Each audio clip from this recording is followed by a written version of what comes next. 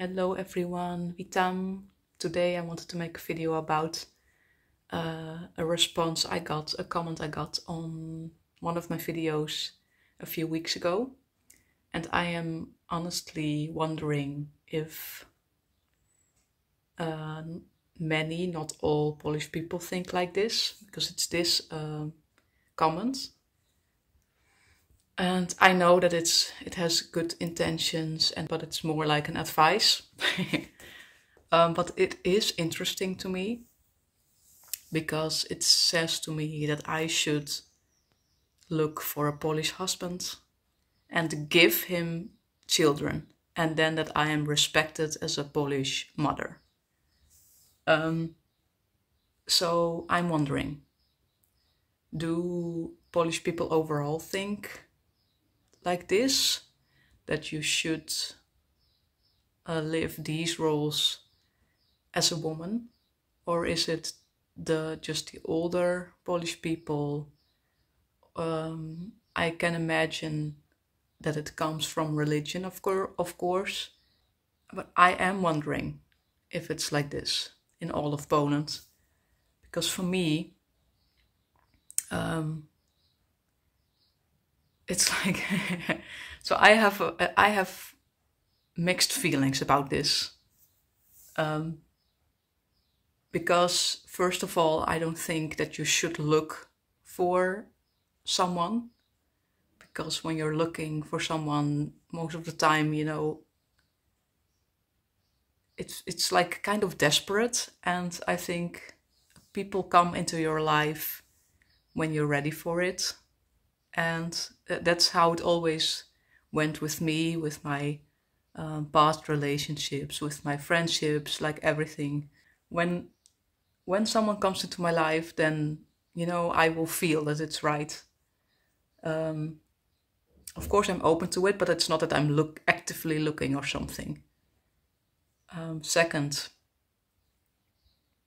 a woman gives a man children I'm questioning that part a little bit as well because I think a woman chooses for herself to be a mother. And this is a very personal one because I will explain to you um, also why this gives so many mixed feelings for me. Uh, but first, um, the third one that you are not complete as a woman if you don't have a husband. I I don't think that's true uh, for me personally as well. It it has very personal reasons um, that you're not good enough when you're alone, and that something is missing. And I uh, had all these feelings in the past because now my personal story comes. Um, I was in a relationship with Dutch man for seven and a half years. So I met him when I was, I think, 20 21. I was 21 and we had an age gap. So he was 29 at that time. And I was I was just beginning at the university doing my human movement sciences um, studying at the university. And he already owned a house. He had his job and uh, really nice. We traveled a lot, and you know I and we discovered that we had kind of the same dreams like we both wanted to travel a lot. We both wanted to leave the netherlands and live other places to see you know more of the world and to to meet people from all over the world. We had big big dreams together. Um, but when i was ready to pursue those dreams and travel the world at after my my university it didn't happen. So i was ready. I also told him. But then I had a feeling that he didn't take the steps to really pursue those dreams with me.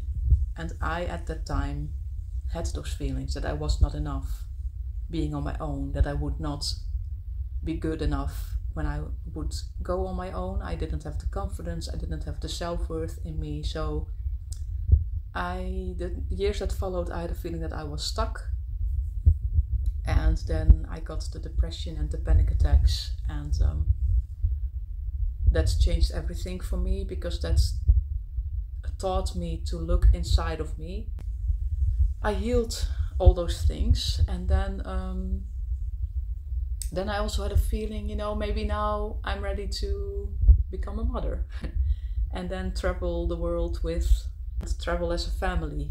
Um, but then the last um, fight that we had um, was him telling me that he didn't want kids anymore, that he was ready to be become a father in the beginning of our relationship.